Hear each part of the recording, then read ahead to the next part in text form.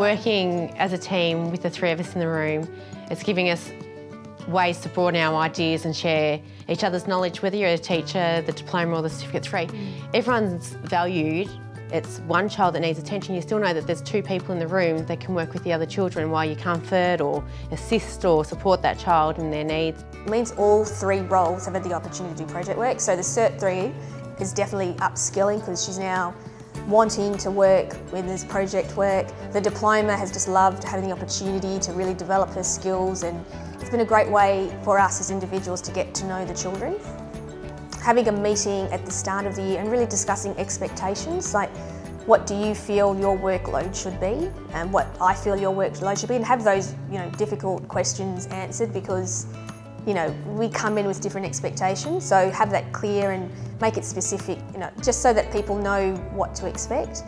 We're not specific to our environment, so if I'm outside, I don't have to be ex explicitly outside, I can move inside because there's three of us, so um, the children can freely move and choose which area they want, and they don't have to pack up because majority of the children are outside. Still, we still are in ratio there.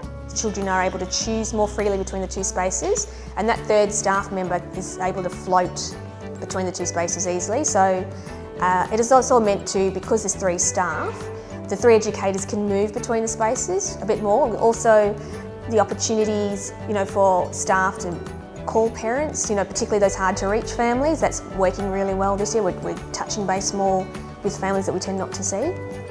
We plan as, as a team um, all together. We divide the children um, into the focus groups, look at, at what's happening in the room, reflect on the um, observations of the children, you know, change things that we need to change, but um, always mindful of the time that people have.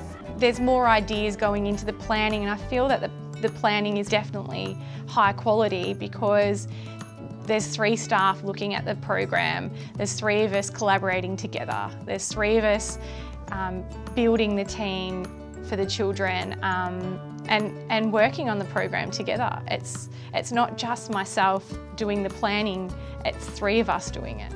We actually get a bit of planning time in the morning session before class. So we make a point of where the three of us, we stop whatever we're doing in the room and we have a group discussion about what activities, what resources, what kind of focus groups we need for observations. We basically just discuss everything at the beginning of the day. The opportunity with the um, additional educator is that we're able to meet with the families at drop off and pick up.